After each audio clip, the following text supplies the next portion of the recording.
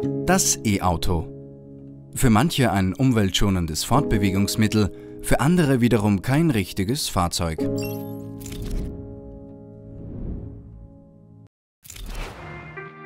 Trotz der auseinandergehenden Meinungen gewinnt die E-Mobilität immer mehr an Beliebtheit.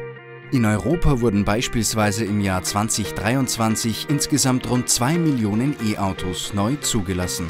Damit stieg die Zahl im Vergleich zum Vorjahr um gut 28 Prozent. Für den Vergleich sind im selben Zeitraum noch knapp 5 Millionen Neuzulassungen an Diesel- und Benzinbetriebenen PKWs registriert worden. Bis 2035 soll sich das aber bekanntlich ändern.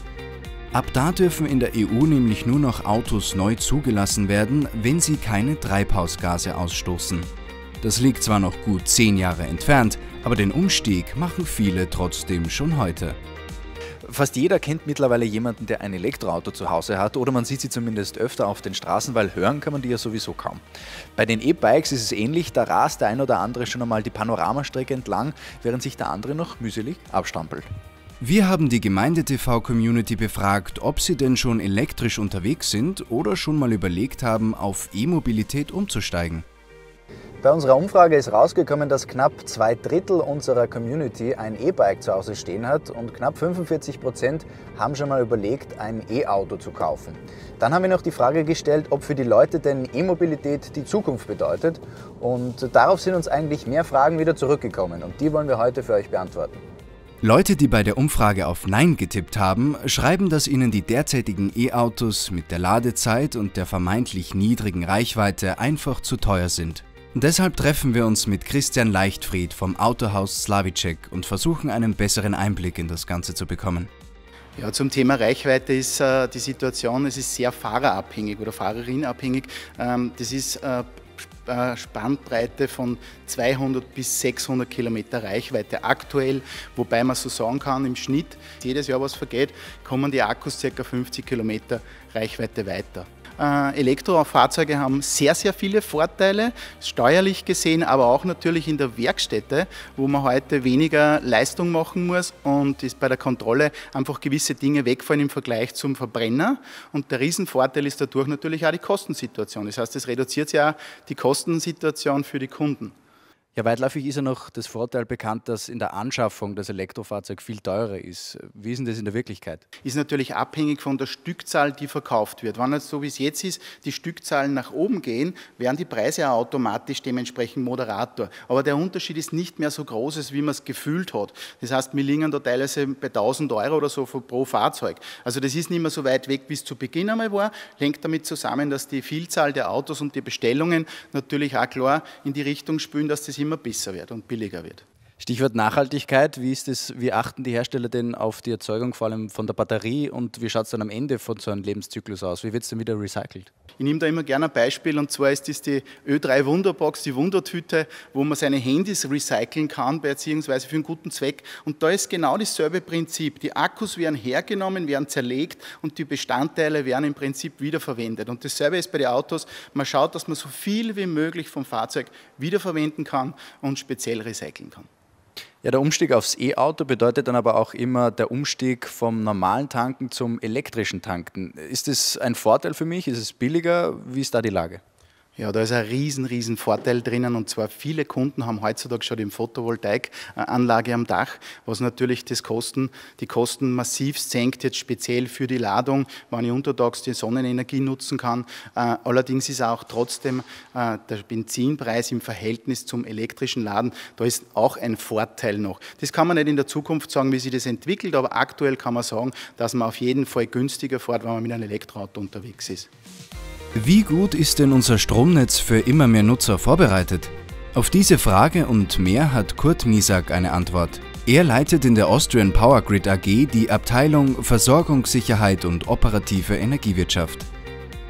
Ja, eine häufig gestellte Frage war natürlich, was würde denn passieren, wenn von heute auf morgen wirklich alle ein E-Auto fahren würden? Was könnten Sie uns da für einen Ausblick geben?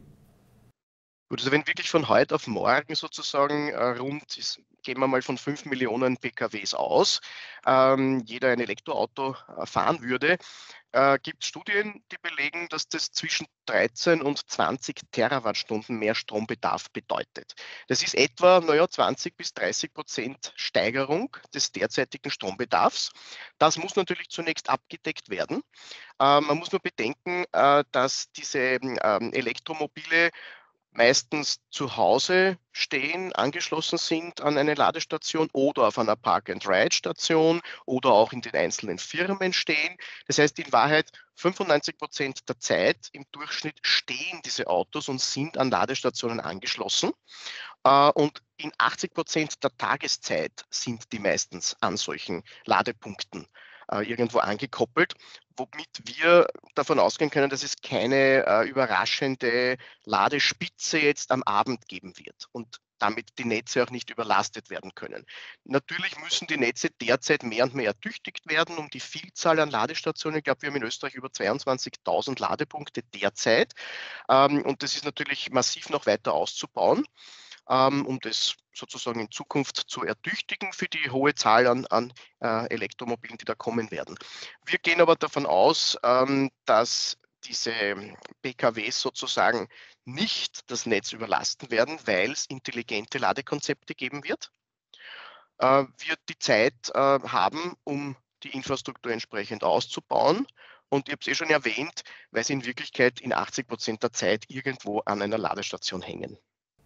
Also Sie haben es angesprochen, die Überlastung ist sehr unwahrscheinlich. Jetzt haben trotzdem viele Angst vor einem Blackout. Was kann man solchen Menschen vielleicht noch mitgeben? Vielleicht die Angst ein bisschen besänftigen?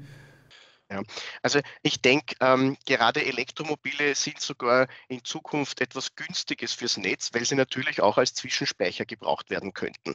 Ähm, es ist eine Tatsache, dass äh, zu manchen Zeiten werden sehr große Mengen an Photovoltaikströme und Windströme eingespeist werden ins Netz, die zu dem Zeitpunkt nicht vollständig gebraucht oder verbraucht werden können. Jetzt muss man sie speichern.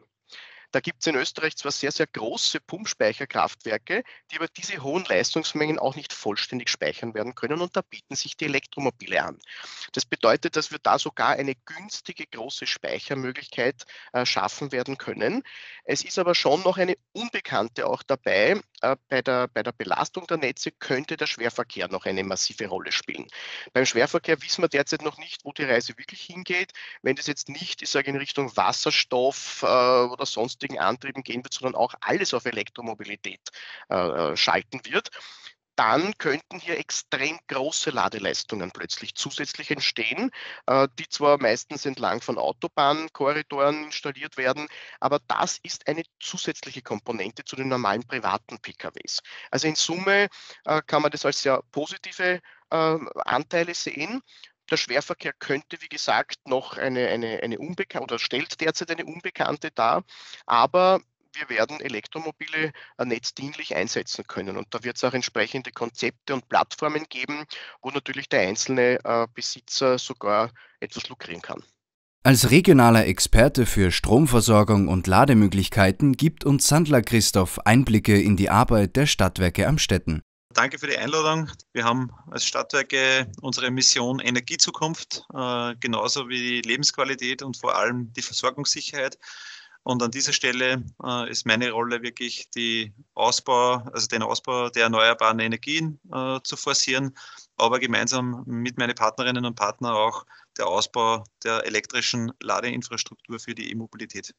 Ja, Stromzufuhr ist genau das richtige Stichwort. Ähm, wie versorgt bin ich denn momentan mit dem Strom für mein Auto außerhalb vom Eigenheim?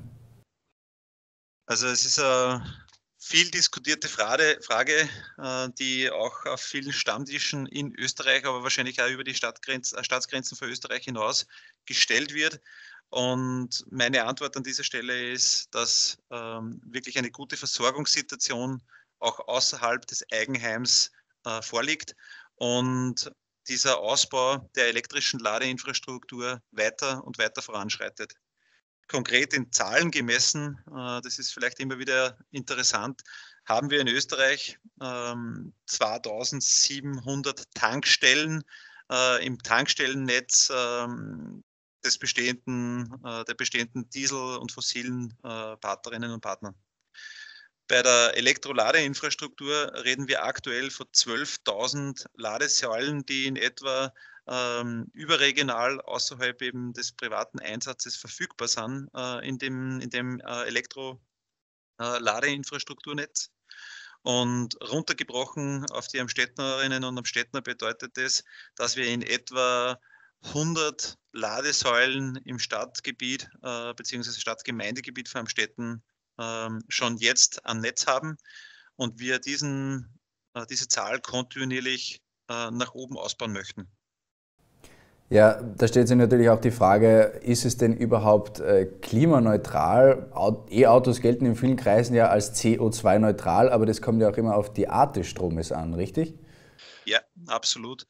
Ähm, die konkrete Antwort auf, auf diese Frage äh, liegt genau in dieser Aussage, die du getätigt hast, nämlich ähm, die vollen Auswirkungen der positiven Einflüsse eines Elektroautos sind dann zu heben, wenn der Strom, der getankt wird, auch grüner Strom ist.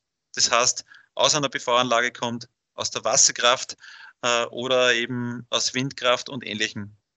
Hier äh, möchte ich an dieser Stelle auch die Chance nutzen, zu betonen, dass wir in Österreich schon deutlich über 80 Prozent Strom aus erneuerbaren Energiequellen äh, produzieren.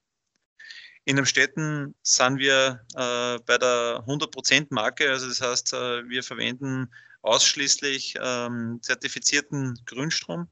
Und äh, die Nutzerinnen und Nutzer äh, von Elektroautos sind ja auch schon ähm, aufgefordert, über die ganzen Förderrichtlinien an der Stelle äh, Grünstrom zu verwenden und auch äh, kombiniert beispielsweise mit Photovoltaikanlagen zu nutzen.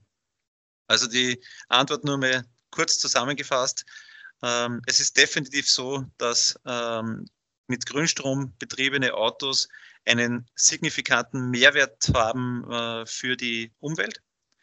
Ich persönlich spreche immer von äh, Mobilitätswende und nicht Antriebsstrangwende.